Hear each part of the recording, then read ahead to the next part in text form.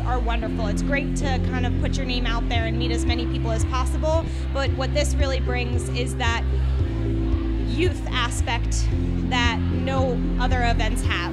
So you're going to have all the young professionals that are coming up in the marketplace, and I'm so excited about that because you meet so many other people who are going to be retiring in the next 10 or 20 years, and that's not who I want to partner with. I want to partner with everyone who's growing and who's going to be around to build those connections moving forward. You also really don't have anything this low key and type of like a relaxed environment anywhere else. Um, it's so awesome here. I, I,